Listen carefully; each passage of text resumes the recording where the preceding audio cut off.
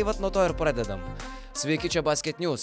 Čia ne Football News, ne Sport News, čia Basket News. Ir mes pradedam dar vieną podcastą, kuriame šiandien mes e, ir vėl esam a, tryse. Tai reiškia, kad toks rimtesnis podcastas, negu galbūt aš jį darau su kolega Vytautu Mikaičiu. kai Galbūt. Mes, kai mes sėdam kalbėti laidoje iš 9 metrų, kur kalbam apie krepšinį iš labai toli. Nors šiaip turbūt reikia priminti, kad Basket News daro labai daug skirtingo turinio ir tarp podcastų galite rasti bent penkis e, labai skir skirtingus, kur rasite savo mėgstamus dalykus. Tai apie NBA kalba mūsų kolegos e, Rokas Grajauskas ir Dainius, e, atsiprašau, ir Mykolas Jankaitis. Jie daro podcastą NBAS, e, jį galite rasti YouTube, Stitcher, Spotify programėlėse, kur tik tai norite ten klausykit, visus podcastus galite rasti, tarp kurių ir kolegų iš užkaltų halės langų e, darbus, kur kalba e, kur kalba Karolis Katikinas ir Rytis Višniauskas. Taip pat ir mūsų kolega Dainius Černauskas daro podcastus po kiekvienerių rungtynių, ar tai žaistų Žalgeris, ar tai žaistų Rytas e, Europos lygose. Na nu ir aišku, mes čia kartais susėdam taip pakankamai rimtai pasikalbėti. Tai Karolis Tiškevičius, Jonas Miklovas ir Jonas Lekšas.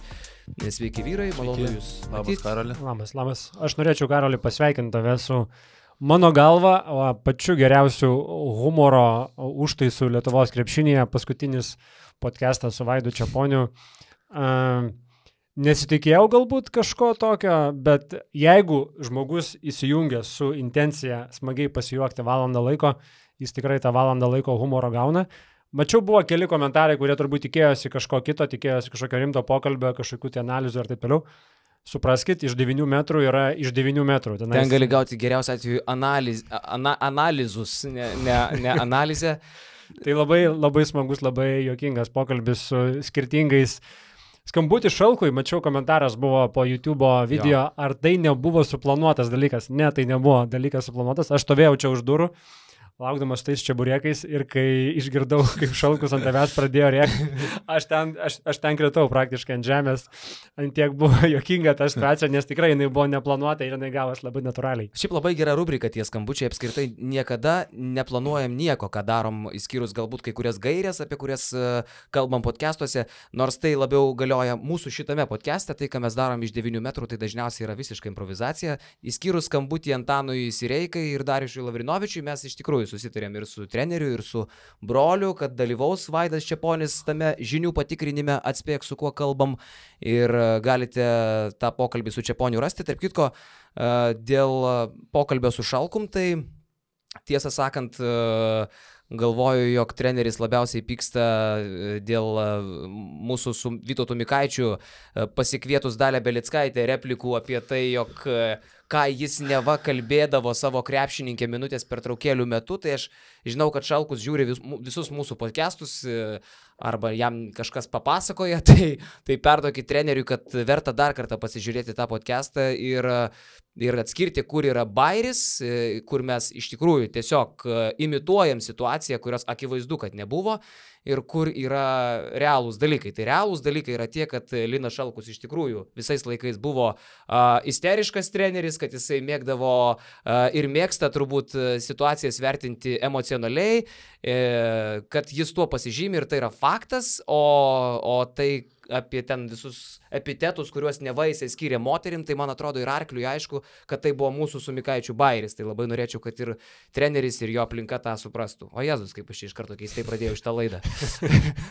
Bet aš labai tikiuosi, kad tie, kurie dar nebuvo girdėję apie šitą podcastą su Vaidu Čiaponiu, tikrai įsijungs ir pažiūrės ir pasijuoks, nes uh, juoko dozė tikrai gera ir net tokių skirtingų uh, trumpų epizodukų sujungtų į vieną podcastą, žodžiu, pasijuoksit. Tai štai, na, o šiandien šitame podcast'e mes e, skirsim nemažai dėmesio e, pakankamai, pakankamai skirtingiam dalykam. A, Galvoju, kad nuo aktualijų pradėsim ir e, pakalbėsim netrukus apie Žalgirio ir Šiaulių akistatą, kuri šį sezoną jau darosi e, labai įdomi. Per kiek daugiau nei mėnesį Žalgiris ir Šiauliai žaidė tris kartus ir visos trejos rungtynės vyko taškas į tašką. Visas trejas rungtynės galėjo laimėti ir Žalgiris, ir Šiauliai, dviejas iš jų laimėjo Žalgiris, tačiau uh, abejas tikrai sunkiai, o štai Kaune sekmadienį ir įsigudrino pralaimėti Šiauliam. Ir prieš pradedant apie tai, aš tik tai noriu uh, pasakyti, jog Patreonai yra pagrindinis mūsų podcast'o rėmėjas, mūsų partneris yra žmonės, kurie remia basketinius veiklą, tai šiandien paties podcast'o pabaigoje mes ir vėl atsakinėsim į klausimus, kuriuos uždavinėja Patreonai ir ta dalis jau bus skirta tik tai e, jiem asmeniškai. Nu, dabar vyrai iš tikrųjų, antradienį Karaliaus Mindogo taurės pirmasis ketvirtfinalio mūšis tarp Kauno Žalgirio ir Šiaulių. Daug kas tikėjosi, jog štai Žalgiris po dviejų labai sudėtingų rungtynių iš eilės Lietuvos krepšinio lygoje su Šiauliais atvažiuos į Saulės miestą, ten pervažiuos su visų pykčiu, galbūt netgi su tam tikrų įsižeidimu Šiaulius, nepalikdami jokių vilčių. Nieko panašaus nebuvo. Šiauliai buvo tris kartus situacijoje, kai buvo minus 11 ir atrodė, jog Žalgeris jau nuvažiuos, visus tris kartus Šiauliai sugebėjo atsitiesti, o ketvirtajame kelinyje likus dviem minutėm ir išlyginti rungtinių rezultatą. Galvoju, kad mes galim pradėti šitą podcastą nuo pagarbos Šiaulių kovingumui. 26 atkovoti kamuoliai polime. Rungtynėse antradienį Karaliaus Mindogo taurėje su Žalgiriu. E, Panaršiau po istoriją, tai yra per paskutinį dešimtmetį e, Lietuvos klubinėme krepšinėje ir taurės varžybose, ir Lietuvos krepšinio lygoje. Tai yra antras, trečias rezultatas, e, tiesa, Pats Žalgiris tokių blogų rungtynių savo istorijoje, kalbant apie atkovotus kamolius po jų krepšiu, neturėjo niekada. Antras pagal blogumą Žalgirio rezultatas buvo 98 metais rungtynė su atletu, kai atletas atkovojo 23 kamolius puolime, 26 yra absoliutus Lietuvoje Žalgirio antirekordas. Tai nežinau, kokios jūsų išvalgos įspūdžiai po to, ką matėm Šiauliuose. Tai dieną mes kaip tik su Jonu dar čia ofise sėdėjom, kalbėjom, kad turbūt, sakom, šiandien Žalgeris laimės 30 ar daugiau taškų, kažką galvojom, kad bus kaip praėjusią sezoną pirma, pirmajame mače Šiauliuose, kai ant 43 berots taškų laimėjo. Lažybininkų linija, atsiprašau, buvo 18 taškų, lažybininkai spėjo, kad 18 plus, daugiau arba mažiau galėjo rinktis. O lažybininkų tai, linija tai jie... čia, kur paskambini ir duoda tau pagalbą lažybininkai? Ne, taškų, kaip... taškų linija, kur, ne, fora, jeigu tai pasakius, 18 taškų jie spėjo, kad bus toksai skirtumas. Tai vadinasi, ir mes sakėme, oi, čia bus dar daugiau. Taip, taip. Ir kažkaip ir atrodė pirmosiomis minutėmis, kai Žalgeris greitai tą dviženklį pranašumą susikrovė, atrodė, kad e, panašiai ir bus, bet šiuliai, kaip pat paminėjai, tris kartus sugrįžo į mačą ir tie atkovotų kamolių gausa, palimetai, aš tikrai nepamenu tokių skaičių Lietuvoje, kai tiek palime atkovotų kamolių, bet e, pergalę vis tiek iškovoja kita komanda, kaip šiuo atveju buvo Žalgeris. Ir manau, kad šį kartą Žalgeris gali dėkoti Nigelui Heisui ypatingai ir Edgarui Lanovui, kurie metė virš savo procentų. Heisas pataikė visus keturis tolimus metimus, Lanovas penkis iš šešių, tai tikrai tokie procentai kaip šį sezoną jie dar nemetė. Tai didelė, didelė pergalės dalis jų nuopelnas. Ne tik procentai, Heisas apskritai sužaidė sezono rungtynės polime. Klausiau Šaro po rungtynių, ar tokios e, tendencijos matomos treniruotėse, rungtynėse leidžia tikėtis, jog Heisas galbūt ir polime, ir Eurolygoje bus aktyvesnis. E, tai Šaras sakė, kad netiki tokiais e, dalykais kaip tendencijos, nekreipė tai jokio dėmesio, bet Šaras dar kartą pasidžiaugė Nigelu Heisu ir dar kartą įskyrė jį kaip vieną profesionaliausių žalgerio žaidėjų. Įspūdis toks, kad galbūt Nigelą Heisą per anksti mes čia nurašinėjom. Ar, ar galima su šiauliais rungtynės vertinti kaip tam tikrą lakmusą įvertinant Heiso žaidimą? Aš įsivaizduoju, kad sunku jo vertinti žaidimą iš vienų rungtynių ir sunku vertinti tiesiog žiūrint į palimą, palimo skaičius, kuris tikrai pagal tos visus bendrus, bendrus skaičius yra e, vienas mažiausiai iniciatyvos palimėjimantis žaidėjas, tačiau gynyboje jo skaičiai yra po Volkovo berots geriausi. Tai tas jo, jo nauda, jo nauda komandai tikrai yra didelė, bet šiaip grįžtant prie tų rungtinių šiauliuose, tai aš, ta prasme, dar kartą norėčiau pagirti šiaulius, nes 26 atkovoti kamaliai palime prieš Kauno Žalgerį, kur atrodė priekinė linija, vienas Rokas Gustys atrodė panašesnis už visą priekinę liniją. Aš norėčiau sakyti, ne Rokas Gustys, o Rokas Gyvulys. Tai su, su visa geriausia šito žodžio reikšmė ir pagarba. Ta prasme, Rokas gyvulys. Gyvulys, bet ta tokia, uf, gera prasme. prasme jisai, jis, jisai, jis tiesiog yra žymiai stipresnis, didesnis, sunkesnis už tą visą žalgerio priekinę liniją ir tai buvo ne pirmas kartas, tai nebuvo, kad žaidėjas ateina ir jisai nustebina žalgerį. Būtent. Tai buvo nuo pat pirmų rungtynių Jisai atsimenu dar Šiauliuose, kai žaidė pirmas rungtynės sezono, jisai tada jau atrodė pakankamai neblogai, paskui atvažiavęs į Žalgirio areną antras atrodė nuostabiai. Tai galim skaičiais tada- pakalbėti. Jo, jo. Kaip okay. Rokas Gustys atrodė atsiprašau, šio sezono rungtynėse su Žalgiriu, tai Gustys yra Žalgirio, absoliučiai Žalgirio siaubas šį sezoną. E, Pirmas mačas iš keturių, 14 taškų, 8 atkovoti. 5 išprovokuotos 20 naudingumo balų, antras mačas su Žalgiriu 22 taškai 24 naudingumo balai, trečias mačas 14 taškų 10 kamuolių 21 balas ir dabar e, Šiauliuose 22 taškai 16 atkovotų kamuolių, 11 išprovokuotų pražangų, trigubas dublis, tarp kitko 37 naudingumo balai, Guščio vidurkis šį sezoną per jau ketverias rungtynės su Žalgiriu, tai nėra vienas, du mačai, 18 taškų, 10 kamuolių, 6 išprovokuotos pražangos, 26 naudingumo balai, taip Gustys atrodo prie Žalgirį šiemet. Ir čia tikrai, sakau, nėra ta žaidėjas, kuris nustebintų. Atsiminkim, kaip būdavo su Biručiu. Jisai irgi padominuodavo prie Žalgirį, bet tikrai ateidavo mačas, kada Žalgiris tą Birutį užsmaugdavo, nes tiesiog suveikia ambicijos, ne? Tu žaidži Žalgirį, tu esi Žalgirio priekinės linijos kažkuris žaidėjas. Ir ateina kažkoks kitos komandos jaunas bičias ir jisai daro prieš tave, ką nori. Ir žinai, labai Tai smagu suveikia tos matyti- ambicijos. Taip, ir labai smagu matyti žmogų, kuris nepaiso autoritetų į e, Instagram. E, buvo įsidėję LKL, berots, kaip Gustys krauna per Paulių Jankūną šiauliuose. Lendylą. Ar per Lendylą? Lendylą. Jo, bet man atrodo, kad... toliau uždaro, kad nereik, kad į Lendilui. Taip, taip, taip, bet Gustys po to, kaip tu sakai, kaip gyvulys, šeldamas dar po savo epizodo sėkmingo eina ir kaip tankas dar nuskina Paulių Jankūną, žinai, ir tada matau komentaruose žmogus kažkoks, tai, žinai, nu, žalgrio fanas, aišku, žinai, e, e, e, e, ką tu čia darai, Tima, žinai. Jis nepaiso autoritetų, jam nėra svarbu, prie... jisai, toks įspūdis, kad jisai netgi kaifuoja žaisdamas prieš tokio lygio komandą, skaičiai tarsi tą ir byloja. Tada tik tai kyla klausimas, e, ar šiauliai bus pajėgus išlaikyti Gustį, nors ir turi šiauliai dviejų metų kontraktą, teisingai, Jonai? Jo, Gustys turi dviejų metų kontraktą su Šiauliais ir tai tikrai bus ta žaidėjas, iš kurio Šiauliai vėl užsidirbs, nes Šiauliai jau ne pirmą vasarą pasižymi tuo, kad parduoda žaidėjus, kurie atsiskleidžia ir iš jų uždirba. Kiek žinau, yra tų su- susidomėjusių komandų jau dabar norinčių Gustį ištraukti iš Šiaulių. Tai be abejo, tada tik, tik, tik ieškomas variantas, kuris būtų nu, tikrai tinkamas ir ilgalaikis. Jonai Miklovai iš Bet- Kauno, ar tarptų komandų yra Vilnius rytas? Nežinau, bet bet kuriuo atveju vasarą nu, nėra jokių bejonių, kad Gustys kels sparnus kažkur aukščiau ir jis tikrai tokiu žaidimu, tokiu žvėrišku, tokiu gyvulišku žaidimu to, to nusipelno. Gal Ir... nustokim vadinti Gustį gyvuliu iš tam podcast'e? Bet, bet aš noriu vadinti tuo geruoju. Ta prasme, jisai aikštė yra Kuo gyvulys. geruoju? Beast, beast, ne? At, atsimenu, atvažiavo toksai Omar Samhan ir jis buvo tatuiravęs čia ant lūpos Beast, kur tipo irgi gyvulys. O po pabaisa, sezono čia ne? įsitaturavo Samganas Ašarėlę. Net ne po, po kokių dviejų mėnesių jis galėjo taip. tatuiruotis tą Bet ašarėlę. aš atsimenu, kaip jisai dar saboninės laikais buvo, kad jisai toks buvo stambus, didelis, bet tos e, didelė masė, bet tų raumenų nebuvo. Bet kaip jis dabar grįžo pasikeitęs po Amerikos, visai kitas vaizdas. Ir tas man yra tikrai didžiausias šių metų atradimas. Be to abejo, Gušči- tuo labiau, kad- energija, taip jisai ne tik palimais ir gynybai stepautų spėja, visur O, spėja.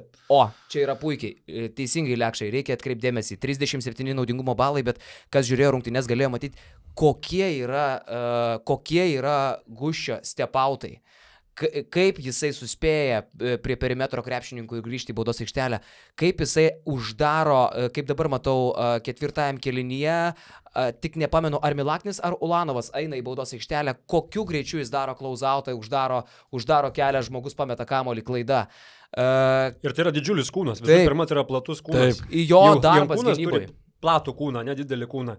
Tu pastatai šalia Jankūno gustį ir tu matai, kad gustys yra dar didesnis. Puikiai, puikiai dirba žmogus, tai uh, iš tikrųjų įdomu, ar, ar jis liks šiauliuose, turbūt, kad ne, kaip tu ir sakai. Šiaip tai dar reikia atkreipdėmėsi, kad po Amerikos jisai pernai žaidė antroje Ispanijos, Ispanijos lygoje, kur skaičiai tarsi nebuvo kažkokie labai ypatingi. 7 taškai, 6 atkovoti kamuoliai, 19 minučių, antra Ispanijos lyga. Šiauliai nesunkiai paėmė tokios statistikos žaidėją. Nu, bet šiauliai dar kartą surado žmogų, kuris, kuris kainuos, kainuos kitą metą. Bet dabar, Šiaip- dabar žiūrint į statistiką, prisimenu, kaip praėjusiais metais Martiną Gemlą girdavom Utenos Juventus, tai jo yra labai panašus skaičiai LKL, kaip ir Roko Guščia šiemet. Jisai praėjusią sezoną vidutiniškai po 16,5 naudingumo balą rinkdavo ir 11,5 taško. Šiemet Gustys 11,8 taškų ir 14,2 naudingumo balai. Ir aš žiūrint dabartinį žaidimą kažkaip... Ir Gebenas prie Žalgirį irgi loždavo Taip, gerai, būtent taip. prie Žalgirį. Ir matome, kad jis perskėlęs į aukštesnį lygį tikrai nepasimetė, kai tas minutės gauna, tikrai solidžiai išnaudoja. Tai aš kažkaip prognozuoju, kad kitą sezoną Rokas Gustys, jei bus ne Vilniaus ryte, tai Europos taurės lygio Ta komanda. patį sakyčiau, aš tikrai nematau jam vietos Žalgiryje, nes Žalgiris tikrai Taip. nemėtys e, Gebeno, to pačiu dar turi ir Birutį ant tolimojo atsarginių žaidėjų sulelio už 30 km. Bet, e, bet e, Rokas Gustys, manau, kad Vilniaus ryto radare turėtų šviesti labai ryškiom spalvom. Ir, ir tai, įsivaizduokit, dabartinėje situacijoje ryto vadovai, manau, jau dabar visai mielai jį turėtų sudėtyje. Jau dabar. Tai tikrai Jis tikrai sustiprintų rytą. Nes žiūrint į tą priekinę liniją, Ehodas ir Kairys jau nekartą esame minėję, yra labai panašus tipo vidurio paliai. Gustis visai kitokio tipo, jis tradicinis centras, kuris puikiai pick and roll žaidžia, puikiai kovoja dėl kamolių, turi tos masės, tai tikrai paivairintų ryto priekinę liniją. Ir apie tą Ispaniją. Tie, kas nematė, sezono pradžioje mes darėm reportažą apie Roką Gustį ir jisai pakalbėjo labai įdomi ir labai atvirai pasakė, kodėl jisai važiavo į Ispanijos antrą lygą, o ne į Lietuvą kažkur, nors turėjo pasiūlymų Lietuvoje. Jisai pats pasakė, kad aš nenorėjau tų pirmųjų metų po NCAA būti tokiam dėmesio centre, kad čia mane kažkas vertins, kažkas komentuos, jeigu aš prašiau žaisiu, automatiškai nurašinės kažkas, man, man ant galvos bus per daug visokių žodžių, minčių kitų, aš geriau nuvažiuosiu pirmus metus tas kojas apšilsiu aplinkoje, kur to dėmesio nėra visiškai jokio. Ir tuomet jau antrais metais bandysiu save parodyti Lietuvai. O, Tai taip. šitas, šitas planas jam paėjo šimtų procentų. Bet Jonukai, ką mes ir kalbėjom dar prieš podcastą, nu kaip aš dievinu žaidėjus, kurie neturi to suknisto lietuviško kuklumo. E, Gustys, e, Sirvidis, Skučas, e, Grigonis. Grigonis. Kaip fainai žiūrėti žmonės, kurie turi tokį, sakykime, nelietuvišką temperamentą, kurie kurie, kurie nebijo pabūti nepatogus, galbūt šiek tiek įžūlus. gal- Sveikas naglumas Galbūt, būtent, galbūt netgi šiek tiek Jankūną nusistumint taip ant ribos pasivaikščioti ties myliu, nemyliu iš žalgerio fanų pusės, bet tai yra ta charizma, kurios labai stokoja lietuviškas krepšinis. Ir tas užsivedimas, tas pasitikėjimas savimi, na kalbant apie Sirvidį, tai, tai turbūt čia atskira tema mes dar padiskutuosim, bet apie Gustį kalbant, jam tikrai leido taip grumtis po kaše. Jis užsivedęs degančiam akim šoko ant kiekvieno kamulio, dabar akise dar stovi ataka, kaip jisai prie žalgerį e, vienos atakos metu atkovojo du kamuolius polime ir vis tiek pelno taškus. Ir nieko prieš jį negalėjo padaryti e, žalgeris. Šaras sodino Zeką lydėjų, nes jam iš vis buvo vargas ir šakės prieš gustį, leido Gebeną, bet ir jam buvo vargas ir šakės prieš gustį. Žvėris. Čia tas myliu. Gyvulys gal. gyvulys. Visiškas gyvulys. Tas myliu, nemyliu Žalgirio fanų, reiktų nepamiršti, kad Rokas Gustys yra kaunietis. Kaip Jonas minėjo, jisai baigė Saboninę, jisai sportavo kartu su Grigoniu, ar ne ta pati Taip, su karta. Dimša, su Lekavičiu. Dimša, Lekavičius. Čia tokia gera hebra, kurie yra... Ir įdomiausia, kad jis ilgą laiką buvo antroje komandoje ir tik paskutiniais metais jisai šiek tiek išaugo, šiek tiek tie judesių arsenalas atsirado ir į pirmą komandą perėjo. Ir faktas, kad jisai augo matydamas tą patį Jankūną, turbūt žavė- žavėdamasis to Jankūno žaidimu. Ir kad jis dabar prieš tą patį Jankūną ten sklaidosi. Kietai, yra žiauriai kietai, tai yra tiesiog parodo, kad auga, auga nauji žmonės, kurie ateina pakeisti Jankūnų ir visų kitų žaidėjų. Aišku, reikėtų vis dėlto gerbti vyresnius ir užleisti jiems vietą troleibuse rokai.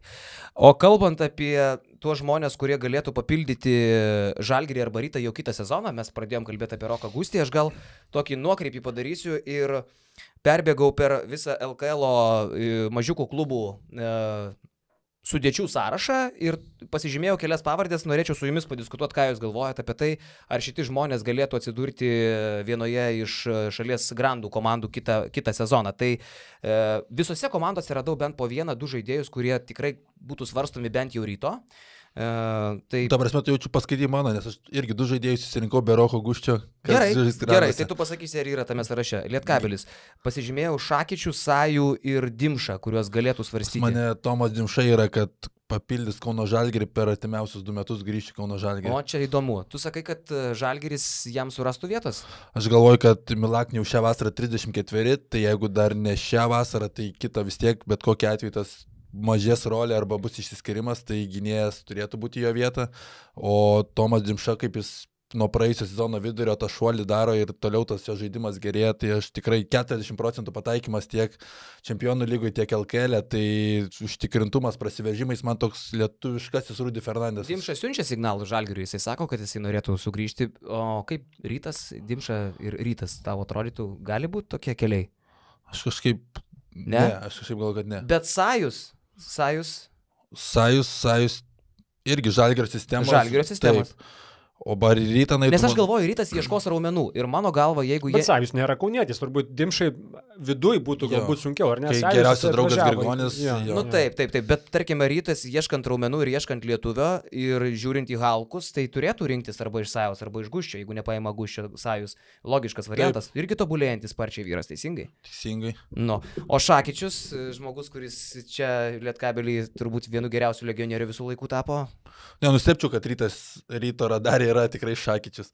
Nu ir šiaip būtų ryto stilius, ne? Medžianas. Vietoj ko? Leslie jau buvo iš Šiaulių nukosėtas. Vietoj Berstau. Bet Bersto toks galbūt vietoj Bersto būtų įmamas tada labiau Sajus, nes nu Bersto buvo su tą mintim, kad jis stumdysis. Ne, aš tik įsivaizduoju, kad kitą sezoną nebus kairys ir Ehodas vien, vienodi du vidurio palėjai. Kažkaip galvoju, kad kažkas iš raumenų keis vieną iš tų vidurio palėjų ir Berstau irgi pakeitimas galėtų būti. Va, va, aš tai akcentuoju rytą, nes rytas nuolat pasiema kažką tai iš mažes, mažesnių LKL klubų tarp sezonių, tai kažką ir šiemet. Tai jų toks kelias, pasiims. taip. Taip. Uh, Juventus turi įgyti Radzevičių, kuris irgi labai Pas mane irgi taip skaičius. pat yra ir aš galvoju, kad jisai Vilniaus ryte turėtų atsidurti netolimoje ateityje. Jo labiau jisai Vilnietis, ar ne? Taip, taip. Ir Ir Jisai, nežinau, Arba tiksliai. kaimą. Nu, kažkur iš tų dviejų. Taip. Nes tai yra trejus metus Utinoje Ne, žaidžiantis. atsiprašau, ir... ir... sostinės marės. Čia yra sostinės tas kaimo, jisai kaip tik auklėtinis. Tai jūs patikrinsite. Nu, žodžiu, bet jo. trys metai Utenoj ir e, per tuos trejus metus jis e, tikrai dėjo didelį žingsnį ir šiemet, tarkim, prisiminkime, kas buvo Lietkabelio žudikas paskutinėse Juventus rungtynėse, tai buvo būtent Gytis Radzevičius, kuris irgi savo kovingumu, tokiu gustišku, guš, guščišku uh, kovingumu ir kamolius rinkosi ir veržėsi ir pražangas provokavo ir trajakus per rankas mėtė, ypatingai ketvirtajame kelinyje, kai rytas jau buvo vienu tašku, nuo 19, iki- Lietkabelis atsiprašau, nuo 19 iki vieno taško sumažino skirtumą, ėmėsi darbo Radzevičius ir vienas atkalė viską.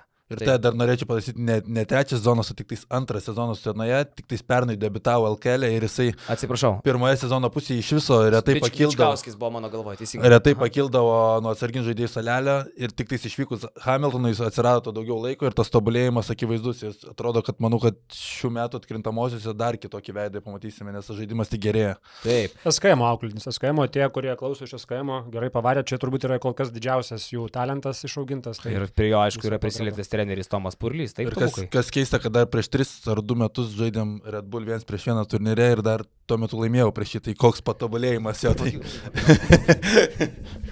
Čia šitai neturėjau. Buvau labai išsigandęs. Norėjau labai pasakyti. Gerai. Tvarkoj. E, Neptūnas, ar susigražins Žalgiris Gytį Masiulį jau kitą sezoną? ne. Kodėl? Ten, kiek žinau, jeigu jo norėtų e, treneris Jasikevičius, Masiulis būtų buvęs Žalgirėje jau šiemet. Bet tai Tiesiog vietoj, tarkim, treneris Kūno. ne, nemato jo Žalgirėje. Čia aš labai, aišku, drąsiai kaunė leptelėjau, bet vietoj Jankūno ne? Nemato kad- Šaras, Panašu, kad ne. Panašu, Masiulio? kad ne. Panašu, kad ne. Tai ir turbūt po šią sezoną baigė sutartis. Jo. E, Įsigalios tas pliusas, jis turėjo 2 plus 2, tai dabar bus tas pliusas. Žaidėjo. Ir, O jo, ko, iš ko tada dar reikia Gyčiui ir ką dar reikia įrodyti, kad jau galėtų jisai ateiti į Žalgirį? Nežinau, aš kaip suprantu, tiesiog yra situacija tokia, kad nėra akies iš trenerio pusės ir nėra akies. Nevertina. Gyčio gynybos? Mm, Nežinau, tam tikrų galbūt ir sugebėjimų polime. Ir, nu, tiesiog e, aš kaip įsivaizduoju, kaip suprantu tą situaciją, kiek tenka girdėti, tai jeigu nepasikeis kažkas kardinaliai, kontraktas bus nutraukiamas ir bus jam ieškoma komandos kažkur tai galbūt užsienyje. O, tai jeigu nutraukiamas kontraktas, tai kas ieškoma? Tai Žalgiris jau nebeturės nieko ieškoti. žaidėjui bus Jo. ieškoma, žaidėjo, Agentas ieškos. žaidėjo agentai ieškos jam naujos komandos. Tu nori pasakyti, kad tokio lygio krepšininkui gali neatsiras taip ir vietos Žalgirį, tai čia ką, čia yra... Jam galėjo atsirasti šiemet ta vieta. Kodėl šiemet neatsirado? Kodėl tas pats Heisas atvyko ar ne, o, o Masiulis išvyko? Galim sakyti, taip, Masiulis nėra Eurolygos lygio žaidėjo, žaidėjas, Žalgiris negali turėti priekinį liniją dviejų tokių. O kaip tu tą pamatuosi, jaunų, jeigu toliau? nėra net pabandyta? Matyt, sakau, tiesiog treneris mato, kad e, jo, jo akimis e, Gytis Masiulis nėra Eurolygos lygio žaidėjas šiai dienai ir jo dar nebuvo galima imti Žalgirį ir panašu, kad nelabai kas, kas čia gali Tu man pasakai naujieną, aš tikrai galvojau, kad Žalgiris sieja su jo didelę ateitį. Nežinau, kiek aš girdžiu, tai ne. Ok. Tai tada galėtų jis padaryti taip, kaip kažkada padarė Šarūnas Esikevičius, kai neparodė jam, arba Šarūnas Marčiulionis, kai neparodė Kaunas didelio dėmesio išėjo į Vilnių.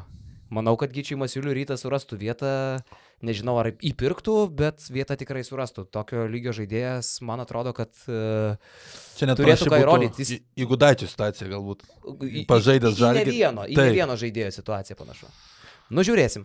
Gerai, uh, Sibet, kaip Jūs galvojat? Uh, aš pasakysiu savo nuomonę dėl, dėl dviejų žaidėjų. Pirmiausiai tai Arnas Velička, mano galva, niekada nežais Žalgryje. Uh, man atrodo, kad tai yra neblogas viens prieš vieną žaidėjas, pakankamai gero lygio krepšininkas, uh, bet uh, kol kas, kol kas atrodo, kad jis labai dažnai skandina savo komandą, nepaisant e, to, koks yra geras viens prieš vieną, bet neįtraukdamas komandos draugų.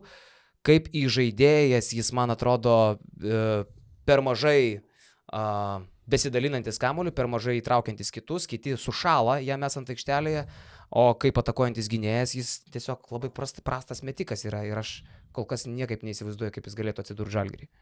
Bet čia yra vienas iš tų žaidėjų, kaip minėjai, kuris turi tokį nelietuvišką pasitikėjimą. Mm. Nu, va tas tik tai. Ir tokie dalykai tikrai patraukia, tikrai Turi, nu. mažiau talentingų žaidėjus iškelia aukščiau, o Veliška tikrai turi talentą. Negali sakyti, kad jam, tarsi jam kiek, 19 metų. Bet ar ne? kiek girdėti, 20. tai, 20. kiek, kiek yra tekę girdėti, juk Šaras ir Veličkas nemato sudėtyje. Tai žinai, reikalavimai į žaidėjų iš vis yra pašarą žiauriai aukšti. Apie ką mes tai, šnekam? tai, nu, turbūt, kol, kol bus šaras, neaišku, kiek čia dar jisai to laiko bus, galbūt Veliška iki to laiko nespės užaukti tiesiog iki tokio lygio. Bet vis tiek aš kaip tikiu, Vilička gali žalgerį taip ir nežais, bet jeigu 20 mečių domisi Talino Kalevas, kuris vieningoje lygoje tikrai neblogus rezultatus rodo, tai tikrai kažką tas žaidėjas turi. Nu, bet jeigu mes lyginam Talino Kalevą su Žalgiriu. Ne, mes nelyginam, tiesiog pasakau, kad žaidėjas tikrai nereikia nurašyti perspektyvus žaidėjas, bet aišku, gal žalgerio lygio ir nepritrauks, mm. bet, bet žaidėjas bus. Gerai, ir dėl Lau- Laurino Biručio, stebėjau paskutinės rungtynės su Pasvalio pieno žvaigždėm, komentavau jas, tai, uh, tai yra blogiausiai besiginantis Lietuvos krepšinio lygos vidurio polėjas uh, ir nežinau, ar, ar aš tiesąkant pamiršau, kaip jisai gynėsi iki traumos, jūs man gal priminkit, bet uh, matėt rungtynę su Pasvaliu? Ne. Visi tankai ėjo per Laurino Biručio pamainą, visi, kas norėjo, uh, duris neusidarė. Jam prasme, greičio trūksta. iš, išlūktas taktą, iš, iš, iš, išdraskyta viskas. Tai prasme, kaip pas, atsimenu, kaime buvo skladukas, kur n- negalėdavau užmigti, nes duris taip tik, tik, tik, tik, tik naktį laukia. Tai čia buvo tas pats variantas, kersvėjais, baisu. E, ir nežinau, Šernius aiškina, kad vis dar yra traumos padariniai ir kad jis atsigavinėja ir turi atgauti greitį ir koordinaciją. Tai aš labai noriu tikėti, kad jis ją atgaus ir palinkėt, kad tai atsitiktų. Bet dabar, okei, okay, ūgis jam leidžia rinkti kamolius, į, į, įversti, į, į, į, į, įmesti į krepšį iš, iš ar- artimo nuotolio, pasinaudojant ilgom rankom, bet gynyboje, u, tiu, tiu, tiu, tiu, labai prastai. Tai aš nematau jo uh, sugrįžtančio į žalgerį, plus nelabai įsivaizduoju vietos ten jam. Aš irgi nematau, kai yra Gebenas dabar, plus Birutis ir prieš traumą nebuvo pats greičiausias ir tų problemų ypač roll gynybai turėdavo. Ir masės irgi pritrūkdavo, kiek pamenu, Eurolygoje, stumdantis su kietesniais varžovais. Tai manau, gynyba pagrindinis aspektas, bet ir konkurencija šioje pozicijoje labai didelė, tai kad sugrįši žalgį ir nemanau. Tai va, ir kaip tu galvoji dėl biuručio? Aš irgi sutikčiau, kad nelabai matau tokių variantų. Ir paskutinį žaidėją turiu, e, apie Gustį mes jau kalbėjom, apie ža- ža- žaidėją, kurį galbūt, sakykime, nežinau, ar, ar, ar ryte, žalgerį tikrai ne, bet e, ar ryte, ar galbūt Neptūne, bet mane maloniai stebina, kaip tu įvardinai Lietuvos krepšinio lygos Maikas Džeimsas, Čiaunsy Collinsas, Alitus. E, Per pas- paskutinės aštuonerias rungtynes jis renka po 24 naudingumo balus. Prieš tą patį Neptūną sumetė 9 tritaškius iš 14, jis beje labai daug taškų rinkdavo ir nevėžio komandoje anksčiau, dabar Lietuvoje irgi visiškai šelstantis toks uh, Liet Lietuvos krepšinio lygos Jamesas. Tai būtų įdomus toks pasirinkimas, jeigu jis papildytų kokią nors stipresnę komandą. Būtų, būtų toks uh, Kendriko Brauno atvejis Vilniaus ryte kažkada, tai ne? Kai Taip, iš silpnos būtų. komandos iš Alitaus atėjo į rytą. Ne, Nenus... jis neišalitaus, jis atvyko, jis po to tik žaidė Lietuvoje, po, po Lietuvos ryto. Ai, o kur jis žaidė prieš rytą? Jis Į- žaidė Belgijai. Ne, jis galbūt. žaidė Dzukijoje. Bet jis vėliau. Ne, Jisai į rytą atėjo iš Dzukijos. Ne, palauk, išpirko lapetą tikrai tada rytas. Palaukit. Nu, palaukit, tuoj tai pažiūrėsim, tam man Jo. bus lengviau. Jo, pasižiūrėk. Kas Nes, pirmesnis dabar vis nes man atrodo, kad jisai rytą atėjo iš Dzukijos. Tada lapetą atėjo tikrai iš Dzukijos. O... Kendrickas Braunas. Kendrickas Braunas. Dzukijai žaidė 2-18-2-19. Ai, tai tada... tada Ryte 2-15-2-16 iš Olandijos klubo atvyko. A, į Groningen. atsiprašau, nu mano, mano tada feilas. Tai gerai, tada šitą praleidžiu. E, va, nu tai toksai, va. Bet aš kažkaip norėčiau Čiaunsį Kolinsą pamatyti dar šiek tiek aukštesniam lygiui. Aš galvoju, kad 9 tritaškai iš 14 prieš gal ne Vilniaus ryte, bet va tokiam Klaipėdas Neptūnui tikrai nepamašytų šalia Žygio Janaičius, kuris yra komandiškas žaidėjas ir sustatantis, tai toks e, siautulys tikrai būtų gražus kombo, nes dabar Darinas Dorsi matome, kad e, daugiau laiko su trauma praleidžia negu aikštėje. Taip, taip. Nu ką, tai... E, Jeigu dar truputėlį sugrįžt prie šiulių temos ir ją uždaryti visiškai, uh, noriu tokį pataisimą padaryti, kadangi po praėjusio podcast'o gavau pastabą, kad uh, neteisingai informavau apie Karolio Lukošiūno atlyginimą Šiauliuose ir išpirką, kurią Žalgiris sumokėjo už Lukošiūną, tai sakiau, kad tai buvo 800 eurų per mėnesį atlyginimas, pastaisau, kad tai buvo į kamerą, Tūkstantis- į kamerą gražiai atsiprašau. 1000 eurų per mėnesį atlyginimas. Aš nemanau, kad čia yra didžiulis skirtumas, bet Didžiulis vardan, skirtumas. vardan teisybės pastaisau ir šiauliai gavo ne 10 tūkstančių, o labiau 20 ar gal net dar truputėlį daugiau iš to, ką teko girdėti, apie 20-20 kelis. Kodėl, mel, Tai kodėl meluoji Jonai? žiūrovams? atsiprašau, kad suklaidinau, kad e, nepastikslinau informacijos prieš tai. Tikiuosi dabar visiems bus ramiau, bet tiesiog ta mintis, kuri buvo mano praeitą savaitę, šią, šią, šią vis dar ta pati, kad žaidėjas nuo 1000 eurų tapo Eurolygos žaidėjų. Iš ties ranką dabar taip? Va. Ačiū. Tai tau atleista. Na, uh, Žalgiris beje šiauliai, da, visiškai uždarant tą temą, nes... Uh, Ai, nes dar, dar turiu. Nes, nes, nes dar. turiu. Buvo labai įdomi spaudos konferencija. Uh, Antroji. Šiauliuose antroji. Nes pirmąją visi matė ir žino, kas taip, buvo. taip. jo. Ir aišku, klausytojai, žiūrovai tikisi, jog mes šitam podcast'e kažką apie tai pakalbėsim. Tai aš labai labai minimalų tokį grūdą. Šarūnas Isikevičius po tos skandalingosios konferencijos sekmadienį, pirmadienį, e, Antradienį. tiksliau antradienį Šiauliuose, e, iš tikrųjų buvo e, kitoks. Galbūt, e, nežinau, ar tam turėjo daugiau įtakos tai, kad jam ta situacija buvo juokinga visa po sekmadienio, ar kad jinai jį e, kaip nors tikrai pamokė, bet bet kuriuo atveju Šaras atėjo pakankamai linksmas, arba bent jau toks atrodė antradienį į spaudos konferenciją Šiauliuose. Ir vos tik tai įėjęs, ten buvo gal keturi, penki žurnalistai, iš kurių aš su Luku Gintautu mes komentavom rungtynės, uždavinėjom klausimus, tai jis vos tik tai įėjęs į spaudos konferenciją iš karto, labas vakaras, jūs, jūs, sveiki, jūs, jūs, labas vakaras visiems jums. Toksai sarkastiškas, ironiškas, bet tuo pačiu geros nuotaikos pradėjo konferenciją ir e, aš vėliau žiūrėjau konferencijos įrašą ir tik tai įrašą žiūrėdamas išgirdau, kad e, Šarui uždaviau klausimą, kuris buvo beprotiškai panašus į ką tik užduoto kolegos e, klausimą apie Nigelą Heisą. Tai manau, kad sekmadienį būčiau gavęs daugiau duliai negu, negu, negu antradienį. Antradienį jis visai gražiai atsakė į tą, nors ten kitaip performulavau. Nu tai va. Tai, tai tai, ko nematė žiūrovai, buvo Šaro ateimas į spaudos konferenciją ir tikrai labai labai pagarbiai kreiptas į visą susirinkusią auditoriją.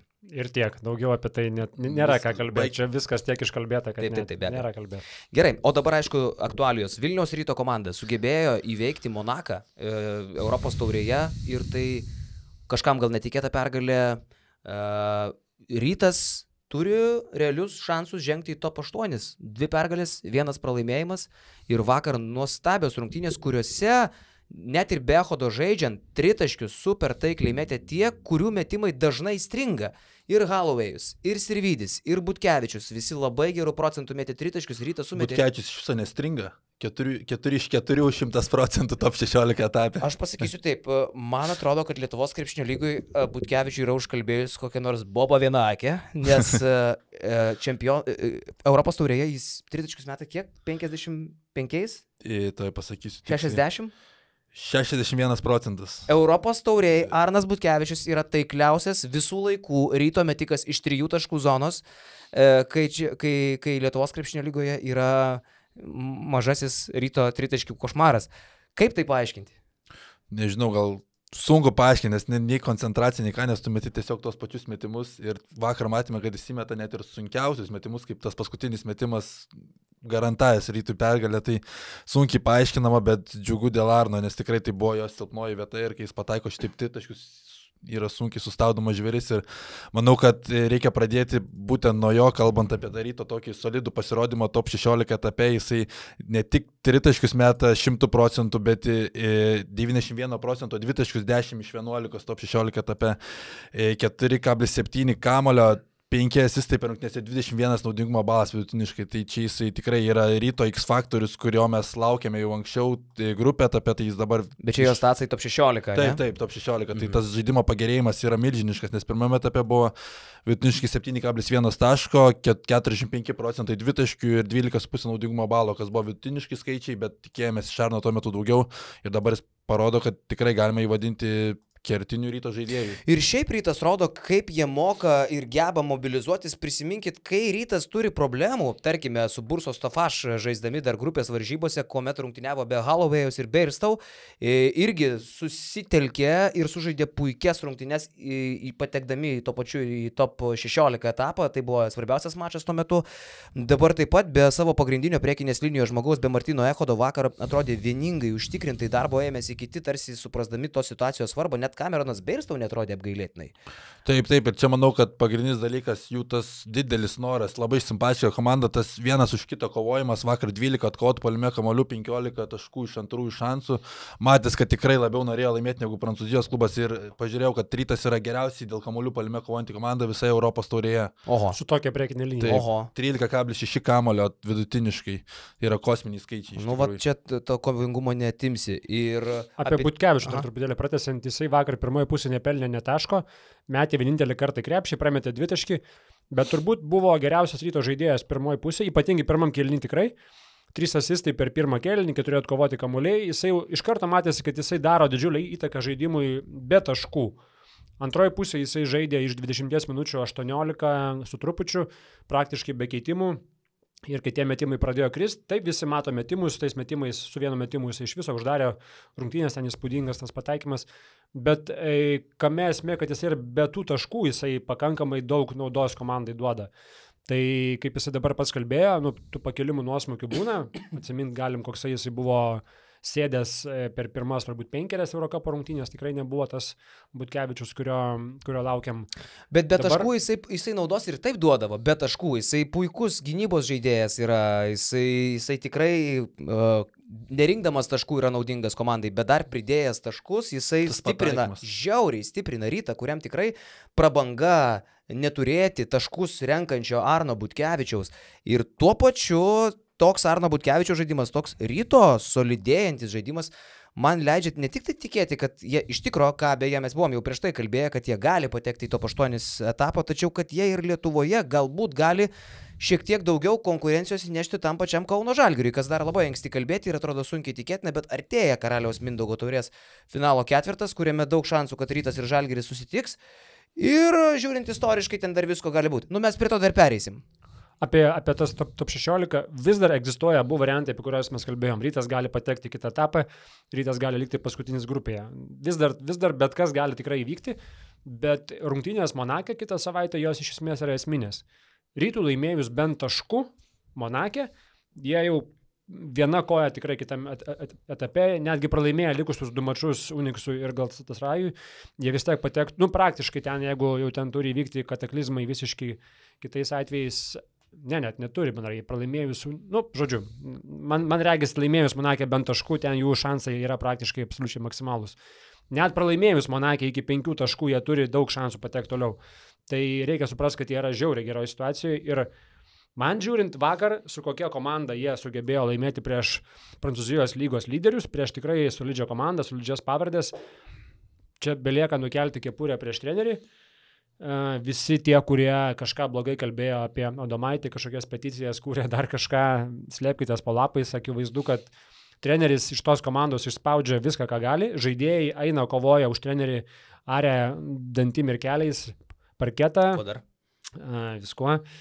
Ir e, tikrai tas nusteikimas vakar jisai buvo akivaizdus, kad jisai žymiai labiau, kaip Jonas minėjo, žymiai labiau norėjo laimėti rytas negu, negu varžovai. Jo, tikrai labai galingai. Uh, kitas dalykas, Davidas ir Vydis. Mes kalbėjom apie tai, kad šitas žaidėjas irgi yra tokio nelietuviško tipožo. Ir vakar sumetė 3 tritaškius iš 5. Kiek iš viso taškų surinko? 11. 11. berods. 11. Tai žmogus, kuris irgi kritikos strėlių ir iš mūsų daug gauna, bet vakar labai svarbius metimus metė taikliai ir jo šaltakraujiškumas tarsi Na, po tiek e, kritikos, po tiek prastų rungtynių, po tiek e, prametamų metimų iš gerų situacijų, e, vis dėlto akivaizdu, kad minutės, kurias jis gauna, jį patį įkvepia Ir tas trenerio pasitikėjimas, manau, kad čia Dainio Domaitį irgi galima dėl to e, pagirti, kad nepaisant to, kaip žaidžia neužtikrintai Sirvidis, pasitikėjimo kreditas didžiulis ir Sirvidis vakar vienose svarbiausių sezono rungtynių, rungtynių, kurios leidžia dar tikėtis patekti į to aštuntuką, e, parodė savo klasę ir, ir sumetė metimus, ramiu veidu, tuo pačiu, kuriuo prameta metimus, jis tuo pačiu veidu vėl mėtė ir, vėl su, ir šį kartą sumetė. Už tai tikrai didžiulė pagarba, ten tie metimai absoliučiai be jokios dviejonės, užtikrinti taip toliau gražu.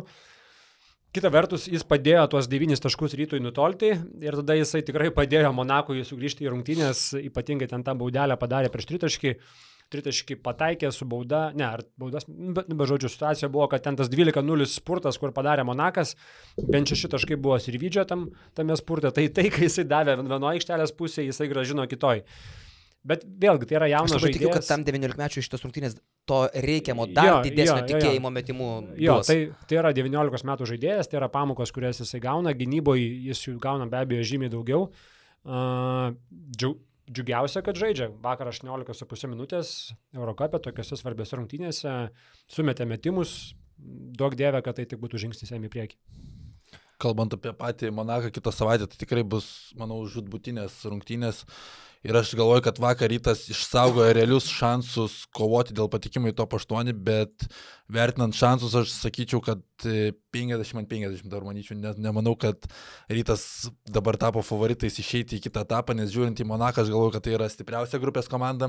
Žiūrint į vakar žaidimą, tai taip, jie vakar kažkaip to norą, bet Sutinku dėl Monako ir stipriausios komandos. Bet žinant, kaip e, prancūzijos klubai namuose žaidžia, dž- pavyzdžiui, matant tą patį Svelį Eurolygoje, prisiminus, kaip rytui sekėsi Limožė pirmajame etape ir matant Monakas, kaip šiemet 13 mačų iš 15 laimėjo namuose, tai manau, kad kitą savaitę užduotis bent jau nepralaimėti daugiau negu 5 taškais rytui bus labai sunki užduotis. Gerai, o pralaimėjus Monakui lieka rungtynė su Kazane išvykoje ir su Galatasarajum namuose. E, Ko reikia rytui, tai tarkim, pralaimėjus Monakui ir kaip, kaip, kaip, kiek realu tada patekti į kitą etapą?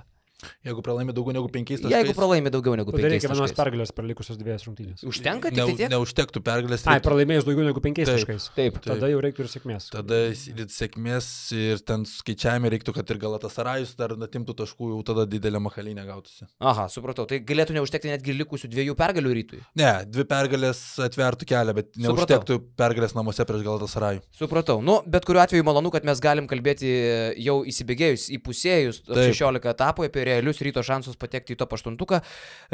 Ir tokių džiugių natų mes negalim išspausti žiūrėdami į Čempionų lygą nuvilė ir Klaipėdos Neptūnas ir Panevežė Lietkabelis. Neptūno situaciją gal atskirai aptarsim, bet pakalbam apie Lietkabelį. Lietuvoje šita komanda tikrai atrodo gerai.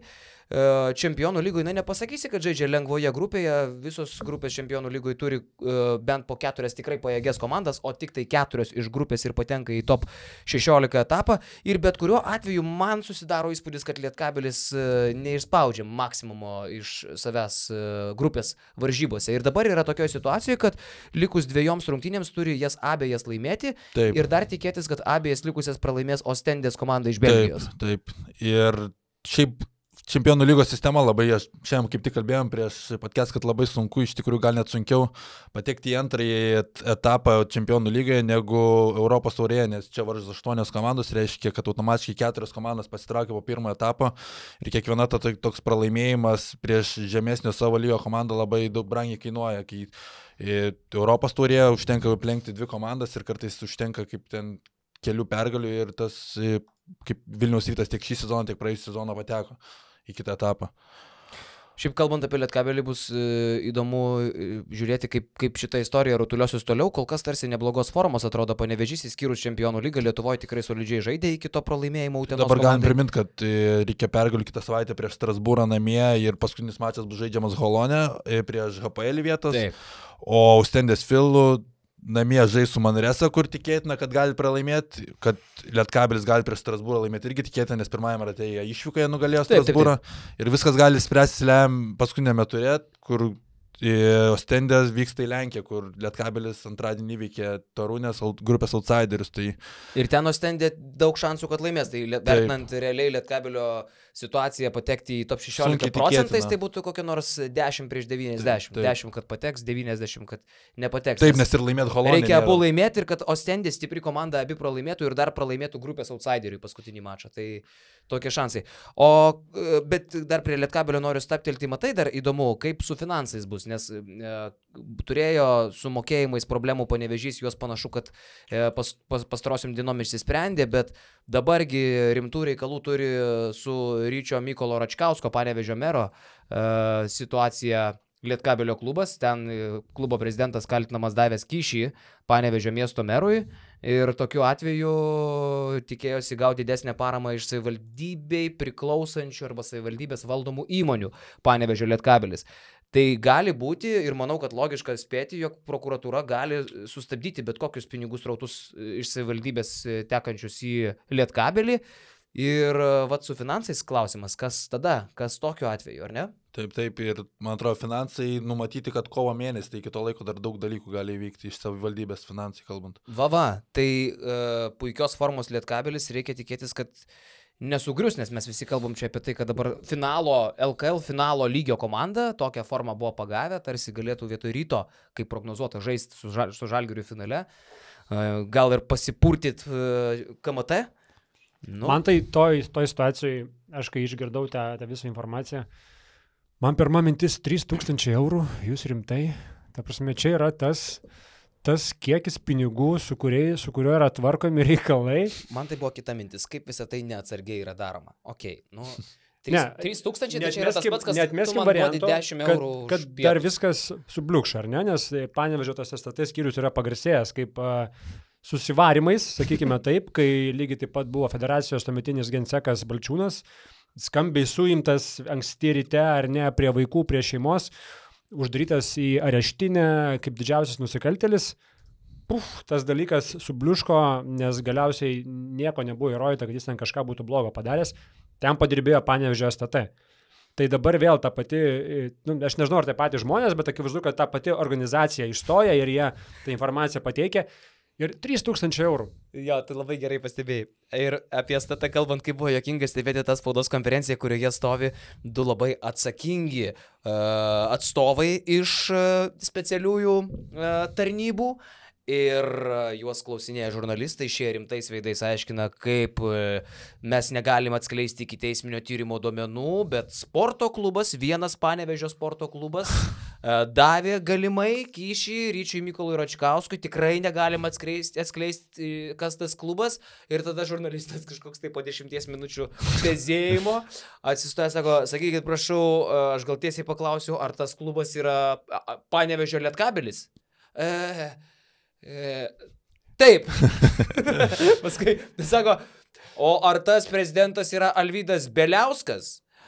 E, na, negalim atskleisti duomenų, bet prieš tai sakė, kad sporto klubo prezidentas davė, tai palaukit, tai Lietkabelis turi daugiau prezidentų nei Alvyda Beliauską. Ar gal yra kitas lietkabelis, nežinau. Nu, nu, tai yra tai iš tas kategorijos, kur tu kalbėjai apie, apie teisės saugos kartais panevežio pasisakymą. Ja, ja. Bet tie 3000, tai man kvepia, jeigu tai tiesa, labai, uh, na, tokiu, kaip čia, būtiniu uh, darbu, nes kokiu būdu tu prieš tai, jau Rytis Mykolas Račkauskas prieš tai panevežį turėjo rimtų problemų su teisės sauga, kokiu būdu tu žinodamas, kad tavęs tikrai seka, tave tikrai klausosi, tu, tu esi dėmesio centre, tu esi meras, kokiu būdu tu gali paimti 3000, kad apie tai sužinotų STT. Nu, tokį vaizdžiai turi kalbėti arba prie telefonų, arba namuose, arba automobilį, arba kažkur labai neatsargiai. Dėl, jeigu tai tiesa ir dėl tokių pinigų purvinosi Lietkabelis ir Panevežio miesto meras, Tai aš net nežinau, ar tai yra, nu kaip čia, nemalonu, ar labiau jokinga. Kažin, jie turi įkainius, tie, tie merai turi įkainius, kiek, pavyzdžiui, kainuoja paveikti tarybą tam tikrais klausimais. Žiūrėk, kiek kainuoja Sporto- visvaldą, pavyzdžiui. ne? Sporto klausimais paveikti kainuoja 3000 eurų, ten kokių... Kainoraštis sudarytas. Jo, ten kokio nekilnojimo turto, kur didesni pinigai. Nu, čia jau, čia turi mūsų rašę koks 15 ar kažkas. Kaip, kaip kažkai jie nusprendžia tas sumas pagal, pagal ką jie. Bet vėl grįžtų 3000 eurų. Nu, dėl dievo meilės. Dėl tokių pinigų tu purvinės ir rimtai. Žiauru. Vau, Iš tikrųjų, nu, dar pažiūrėsim, kaip čia viskas įsirutulios. A, Keliamės į Klaipėdą, nes irgi čempionų lygoje situacija ne, par, ne, ne kažką. A, Gal apie turnyro situaciją, a, Lekšai, tu gali papasakoti daugiau? Tai situacija paprasta, jie dabar vakar iškovojo pergalę prieš Bonos klubą 25 taškais, tai išsaugojo, yra savo paties šeimininkais, bet l- realiai lemiamas mačas artėjančią savaitę bus Stambulė su vietos Bešiktaš, kurie demonstruoja tikrai gerą formą atleidus Duško Ivanovičių. Iškovojo tris pergalės pailių čempionų lygoje, plus namuose tikrai žaidžia daug geriau, nors pirmąjį mačą Klaipėdoje Neptūnas iškovojo pergalę, bet pralaimėjimas ten nubrauktų realius šansus žengti toliau. Ir Neptūnas, kai nugalėjo, tiek buvo kitos formos, jau buvo prabundanti, e, Lietuvoje išluojanti visus komanda, karšta komanda. Vėl taip nebėra. Ir plus Darinas Dorsija atsinaujino traumą ir Tomui Delinkaičiui taip pat atrodo, kad e, Dvigalius berots raumuo ir neaišku, ar galės padėti komandai, tai irgi netiktis. Kita vertus, Dorsi iškritimas sezono eigoje lėmė Neptūno pakilimą, Taip. tada žygis užsivedė. Taip, taip. Bet sakau, kad situacija tikrai gal šiek tiek lengvesnė dėl to, kad viskas jų rankose priklauso, bet laimėti Stambule dabartinės formos prieš tokį bešiktašą atsigavusi, tai nebus taip paprasta. Neptūnas laimė abiejas likusias rungtynės ir patenka, tokia Taip, matematika. Taip, paprasta matematika. Mhm, taip atrodo paprasta. Bet Neptūne problemų yra daugiau šiaip teisingai, negu tik tai e, rezultatai. Nežinau, kiek tai problemos, bet tikrai tos žinios nustebino, kurios išėjo praeitą savaitę. Šia, šios savaitės pradžioje um, Donato Zavatsko atleidimas, sporto direktoriaus atleidimas sezono viduryje. Tokie dalykai nelabai darosi, ar ne? Atleidžiami yra treneriai, uh, kad kažkas nuimtų sporto direktorių vidury sezono, na jau turi būti kažkas labai blogo. Ir e, man iš karto klausimas, kas turėjo nutikti tokio blogo, kad nuimtum į Zavatską jau dabar, sausio Pagalvojau, kad mėnesį. Paskutinį kartą prie Romanovo tai būdavo tik žalgerį, kad sporto direktoriai krizdavo teisingai. Jo, jo, jo.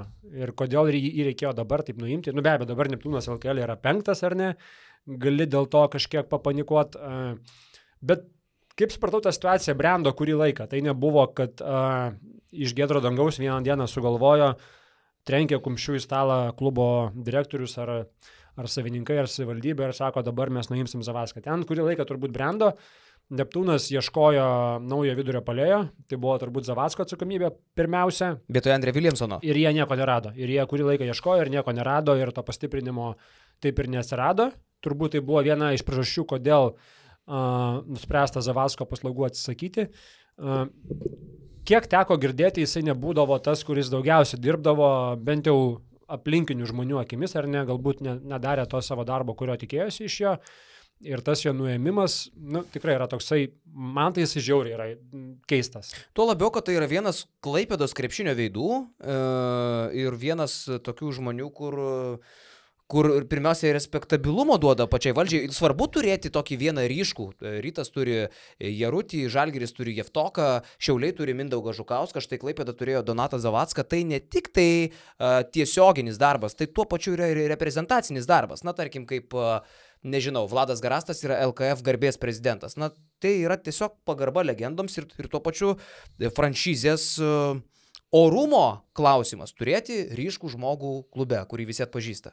Jo, bet kita vertus, e, tai yra tiem žmonėm naujas darbas. Jeftokui atėjus tai buvo naujas darbas, Jeftokas turėjo tą prabangą, kad jisai vis tiek turėjo šalia Paulių Matejūną, patyrusį krepšinio vadybininką, iš kurio tikrai mokėsi ir tebesimoko ir e, visi šunys nebuvo kariami ant Jeftoko e, kalties ar ne ar kaklo. Tuo E, labiau, kad ir sprendimų Jeftokas nepriminėja tiek, kiek Zavas Neptūnė turbūt Jo, priminėja. šiauliai, šiauliai vėl, Žukauskas yra jaunas vadybininkas, bet e, šiauliai nėra tiek matomi, ar ne, jie žaidžia LKL. Ir Šiauliai turi jau kitą sporto direktorių, nebėra Žukauskas sporto direktorius. jo, jo. Tai vėl ta situacija kitokia. Neptūnas žaidžia Europoje, viena iš tų labiau matomų komandų. Ir ten Zavas buvo sporto direktorius. Ir ten Zavaskas atėjo be abejo kaip veidas, kaip e, Neptūno žmogus, Klaipėdos, Klaipėdėtis, žinomas veidas ir taip toliau. Bet jam vėlgi, jam tai buvo nauja vieta, jam tai buvo nauja darbas, naujas darbas, ko jisai nėra daręs. Ir galbūt yra sunku būti įmestam į tokią situaciją iš karto ir suprasti tuos visus niuansus. Bet tu sakai, Andrė Williamsono faktorius buvo lemtingas atleidžiant Zavaską. Ne, nelemtingas, tai būtų absurdas. Nelemtingas, bet vienas iš, nu, mes galime atsiminti ir daugiau, ar ne, galbūt, nežinau, ar tikrai taip yra, bet uh, galbūt, pavyzdžiui, klubo savininkam ir direktoriui gali kilti klausimas, o kodėl mūsų komandoje nėra Laurino Beliausko, kai jis Ui, dabar man kėdainiuose šitaip tikrai siaučia. kyla, ar, taip. ar ne, pilnai gali kilti, kodėl mes nematėm jame to, ką jisai gali padaryti, kai jisai po mūsų akimis buvo tiek Kodėl laiko. tai turi ne treneris matyti? Aš galvoju, kad čia labiau Kazimas Kyčiui turėtų Mhm. būti tai toks klausimas negu Donatui Zavatskui. Taip, taip, taip. Jisai prie Kazimas Kyčio sėdėjo ant suolo, jisai neatsiskleidė ir natūralu. Bet vasarą Kazio nebeliko ir tada rinko komandą Rinkevičius kartu su Zavacku. Tai galbūt mm, kažkiek atsakomybės dalyjasi abu iš to vietoj. tai, o, o dabar pakeičia. Ir turbūt labiau Zavackas nei Rinkevičius, kuris dar tokio svorio, jo galėtų stipriai įtakoti komandos komplektaciją, neturi spėčiau. Jo, čia tikrai nėra Šaro atvejis, kuris pasako, kad aš noriu Taip. tų žaidėjų ir daugiau niekas nesiginčia Taip, su juo. Čia taip. tikrai Zavaskas galėjo įnešti savo kažkokį indėlį toj vietoj. Tai šitas. Uh, Neptūnas dar išgyveno tokį pasikeitimą, kuris galbūt nėra toks matomas, bet uh, metų pradžioj jie atsveikino ir su klubo komunikacijos vadove. Agne e, irgi pakeitė žmogų, e, tai tokie Rudi- pokyčiai. Rudytė? Taip, Rimtai? taip. U, Agnė nebedirba Neptūne? Nebe, nuo sausio pirmos nebe. Aik, tu savo. Tai tokie pokyčiai klube, nu, tai yra mažas klubas, tai yra, tai yra du žmonės, ten galima sakyti turbūt iš kokių penkių ar šešių, kurie daro didžiausius darbus, ar ne? Jeigu O ta blendinka. Blendinka, nežinau. trumpais kas- plaukais tokia, irgi ten. Vienam kabinete su Agnė sėdėjo. Ai, man regis dirba. Jo, Okay. Tai žodžiu, tikrai tokius išgyvena pasikeitimus, bet bent jau į Zavacko vietą ateina Dainius Vaitelis, e, Klaipados krepšinėje puikiai žinomas žmogus, jisai pat žaidė ne vienus metus Akvaserviso komandoje, paskui buvo Akvaserviso komandos vadovas, direktorius, lieka jisai ir toje pozicijoje, bet ateina į Zavacko vietą būtent čia ir galbūt nėra, tikrai nėra toks žinomas veidas kaip Zavackas, nėra atpažįstamas, nėra žinomas, bet Klaipados krepšinėje tai yra gerbiamas žmogus, žaidėjai visi jį pažįsta. Akivaizdu, kad jisai labai gerai tvarkėsi su dublerių komanda, ta komanda visuomet aukščiausiose NKL pozicijose. Ir dabar jisai gauna šansą dirbti Neptūno klube ir e, daug dievė, kad jam viskas pavyktų. Gerai, o Tomo Rinkevičio situacija, aš esu girdėjęs, pat, patikink, pa, pa- patvirtink arba paneik, jeigu, jeigu tai tiesa, arba ne, kad e, Tomas Rinkevičius e, gavo dviejų rungtynių išbandymą, e, dabar vieną jis jau įveikė, nugalėjo vakar Čempionų lygoje Neptūnas Bonos komanda. Jeigu dviejas rungtynės būtų pralaimėjęs, dar Rinkevičius būtų lėkęs iš e, savo pareigų. Nieko panašaus nesigirdėjo. Ten gal daugiau situacija žiūrima į LKL, į LKL situaciją, jam dabar LKL reikia laimėti, nes Ir, ir lengva LKL nebus. tikrai nėra. Ir lengva tas- nebus. Išvyko prieš Sibet. Na kaip, Sibet privaloma įveikti, tai tikrai prastai prieš pasvalį atrodė prienai, tik tai kad pasvalys ketvirtam kelinėje atrodė komiškai. E, o po Namuose to su Juventus. namuose su Juventus. Tai tokios, kaip čia sakyti, ne pačios smagiausios nuotaikos Neptūnas turės ką veikti, manau, prienuose. Taip, ir aš galvoju, kad e, būtinos permainos sudėtyje, nes dabar, kaip matome, tas vaizdas, ypač priekinės linijos, kaip jau nekartą. mes tą patį lojam jau. tą patį jau kalbam, mėnesiai. bet ir tas žaidimas negerėja. Ta prasme, mes kalbam, bet žaidimas negerėja ir jeigu nesims Neptūnas permainų, nesusistiprins savo sudėties, tai labai realu, kaip aš jau prieš sezoną buvau iškėlęs tarp savo intrigų, kad šiemet tas LKL didysis ketvirtas gali būti, gali sugriūti, nes Utenos Juventus dabar pastaruoju metu įspūdingą žaidimą demonstruoja ir aš galvoju, kad Neptūnui būtinos permainos, kad pakeisti tą sezoną, nes ir turnyrinį lentelį jau Juventusas aplinkė Klaipėdos Neptūną. Ir Neptūnas ieško net ne vieno žaidėjo, o dviejų naujų žaidėjų ieško, kiek teko Centro vietoj Williamsono? Vienas tikrai yra centras, jo faktas. Ir, ir matysim, aišku, rasti tokiu metu kažkokius pajėgius žaidėjus gali būti sunkoka, bet kad jiem reikia stiprintis, jeigu jie nori LKL būti ketvirtė, tai čia Plius tikrai pinigų faktas. limitas yra gerai, o kokia kita pozicija? Nežinau. Neteko Nežinai, ne? girdėt, Uh, nes, nu gerai, uh, plus aš žinau, kad Neptūnas gali žaisti kitokį krepšinį ir aš ne, nesutinku, kad tai yra vien tik tai sudėties problemos, nes buvo Neptūnas vienu metu karščiausia Lietuvos komanda, kuri jau buvo pakilime, visų šlavė iš kelio ir taip toliau. Čia gal kaip žygis sakė, kažkada, vat, kai ta serija prasidėjo geroji, po irgi prastos pradžios, kai prasidėjo geroji serija, žygis sakė, mums patiems reikėjo laimėti vienas, dviejas rungtynės, kad mes atsigautume, nes mes buvom tokiam mm, moraliniam dugne, kad, sako, net trūbiniai jautėsi tai. O, o kai laimi, visai kita situacija. Tai aš, aš dar sakyčiau, kad uh, centro reikia, bet situacijos labai nedramatizuočiau, kaip ir Tomo Rinkevičiaus uh, faktoriaus dar nenurašyčiau, nes uh, įsivaizduokit Tomo Rinkevičio atleidus, iš kokių pinigų uh, skolingasis daugam Klaipėdos klubas, kuris turi tiesiog finansinių problemų ir jas dar sprendžiasi ir šio sezono sąskaitą, iš kokių pinigų jie pirktų Donaldą Kairį arba Kestutį Kemzūrą, nes tik tai tokį pokytį matyčiau, nu, arba Kazį Maksvytį atleistų permė, bet tai, tai sunkiai man kažkaip tikėtina. Nelabai, bent jau kaip, kiek aš girdėjau, tai nebent klubo vadovas, savininkas, kuris atleido ir uh, Zavatską, nebent jis iš savo kišenės trauktų pinigus ir mokėtų uh, treneriui. Tai va. Tai nežinau. Ir šiaip labai Neptūno tas žaidimo palogėjimas siejasi su Gyčio Masiulio trauma, kuri gruodžio vidurėje buvo patirta. Ir po to tas e, grįžęs po traumos Gytis tikrai nebedemonstruoja to žaidimo, kuris buvo iki traumos. Ir būtent tuo metu jam pasitrauks širkotės prasidėjo tas pralaimėjimų serija didelė. Nu, bus įdomu pažiūrėti tikrai, e, kaip greitai, jau pakankamai greitai, dar kitą savaitę Klaipė dažais.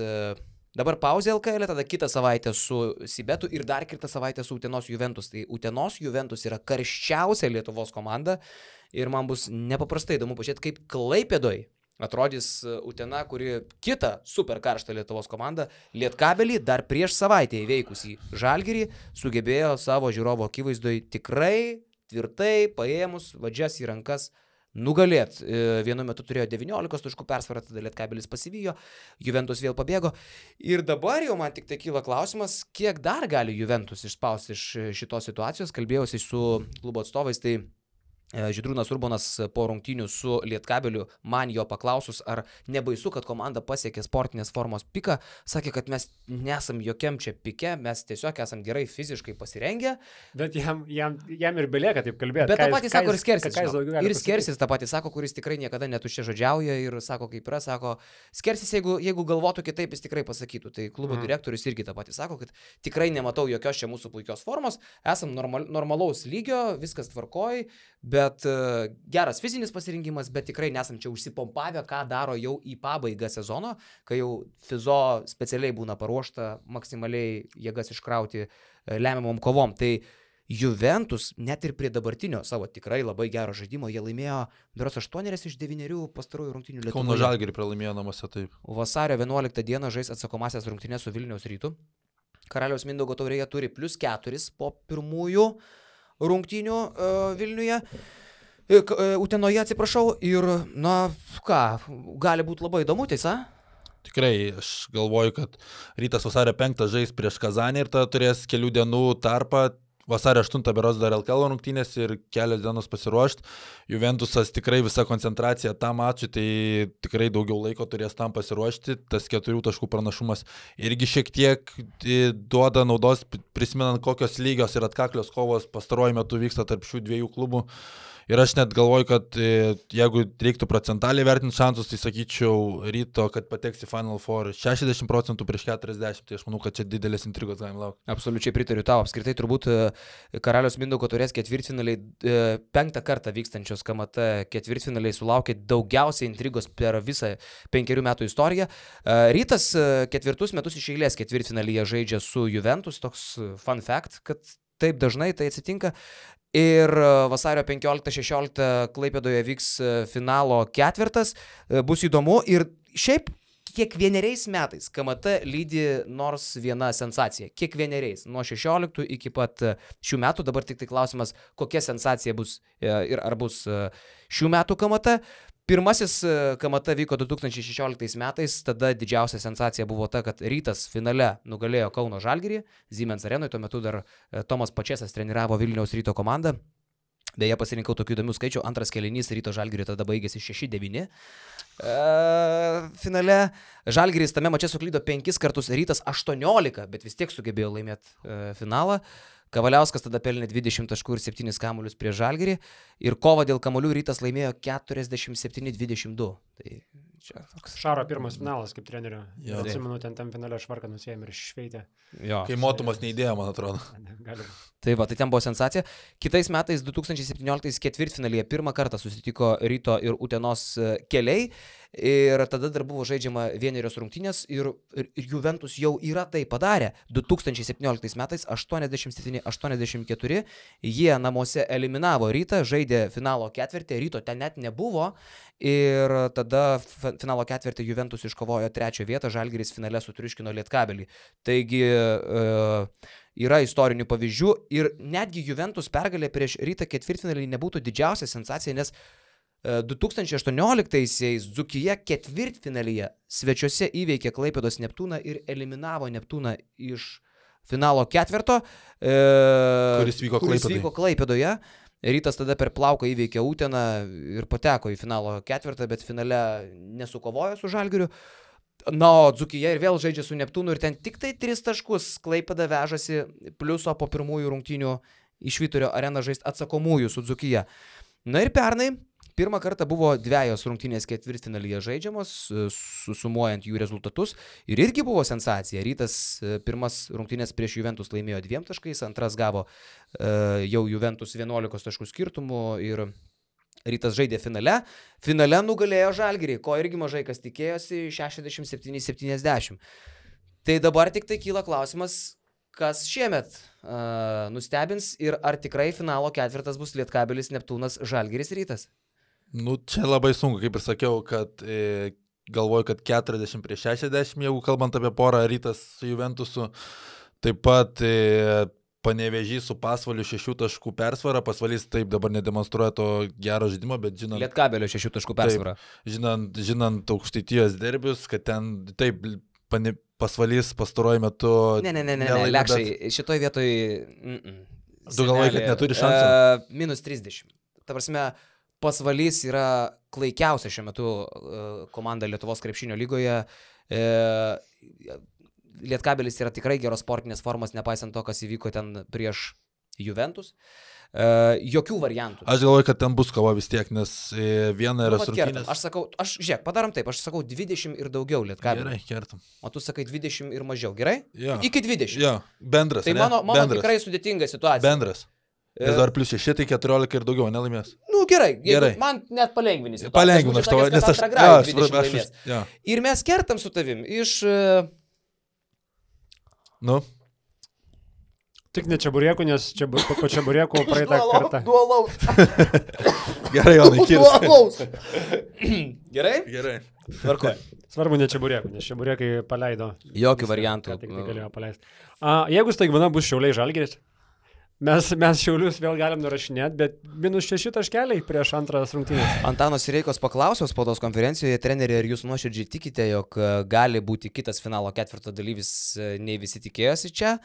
Sireika nutilo kokiam penkiom sekundėm ir pasakė, sportas toks dalykas. Čia turi tikėti. Tai, žiūrėkit, jeigu tris kartus iš eilės, jeigu tris kartus iš eilės e, galima žaisti per mėnesį laiko su žalgiriu taip, kodėl negalima ketvirtą? E, Sireika sakė, mes turėjom Kaune 11 taškų skirtumą. Mes galėjom laimėti tas rungtynės didesnių skirtumų, jeigu ne Lekavičius, ne Milo tritaškiai. Uh, ir plus, aš galvoju, Šiauliai turi milžinišką pranašumą, kurio niekas kitas neturi šiuo metu Lietuvoje prie Žalgirį. Tai yra įprotį žaisti prie Žalgirį. Jie per labai trumpą laiką labai daug kartų jau rungtyniavo prieš Žalgirį. Ir akivaizdu buvo e, KMT antradienį, kad jiem jau visiškai ramu, jie nebesinervina, nes dažniausiai, kaip tarkim, Utena su Žalgiriu žaidė, tas startinis jaudulys tave nužudo, čia pilna arena, tu toks over, over emocijų pilnas, žinai. O jie nebeturi to, nes priprast galima prie to paties, žinai. Nu, vėl žalgeris, o, vėl žalgeris. Tai manau, čia pavojinga, pakankamai pavojinga su degtukais dabar žalgeriui žaisti būtų. Aš tai galvoju, kad e, tame mače bus visiškai kita koncentracija, nes kaip jie skečius sakė, 35 minutės ruošiantis prieš albo sistemą, vis, visiškai kitur mintis, nebuvo žudbitinė diena tą dieną laimėti, aš galvoju, jeigu tu įsišaipiai, kad, e, sakau, kad pasvalys turi šansų, tai aš manau, kad žalgeris tikrai užtikrinčiau įveiks šitą etapą negu lietkabelis. Gerai, šį kartą netaip tikiu tuo, ką pasakiau, tai, tai nesilažinsiu su tai mano senas bičiuli. E, tai, o Hebra, e, rytas e, Juventus mes paprognozavom, pasvalys TTT, o Dzukyje Neptūnas. Žinant Neptūno dabartinę formą, žinant, koks Chauncey Collinsas yra nenuspėjamas, Va. gali užsidegti ir prisiminus, kaip jie Elitoje jau kartą įveikė Neptūną, tai viso galima tikėtis tikrai irgi. Taip, taip. Aš tik labai tikiuosi, kad Neptūnas pateks, nes e, Jeigu- be šeimininkų tai- finalo Ir, ketvirtas ir tuo pačiu, manau, kad Rinkevičiui out iš karto. atveju. procentų. Ta prasme, jau tai būtų nebesuprasta, kaip ten bebūtų. Tai yra įdomių dalykų, mes čia taip plėtkavojam smagiai, bet e, manau, kad e, viskas, kas mums šiandieną liko, tai atiduoti duoklę mūsų Patreonam. Ir e, ačiū tiems, kurie stebėjo dalį prieinamą visiems. Jeigu norite uždavinėti klausimus, kaip tai daro Patreonai ir turėti savo atskirą uh, podcastuką, tokį mini, yra kaip podcastas ir yra podcastukas. Tai čia mes dabar į jį ir keliamės. Ačiū visiems, kad žiūrėjot. Iki. Ačiū iki. Ačiū visam. Sveiki, mes jau, mes jau vėl. aš nespėjau atsisveikinti. Sveikinti. Ai, tai palauk, tai dar kartą atsisveikinam su visais žiūrovais ir aš tada jau su Patreonais. Gerai. Ačiū visiems, kad žiūrėjot. Iškirpsi. Iki. Iki. Neiškirpsiu, bet